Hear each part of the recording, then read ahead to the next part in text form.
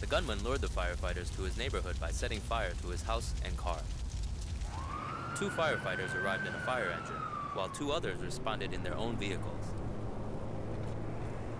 William Spengler had stationed himself like a sniper on a berm above the firefighters.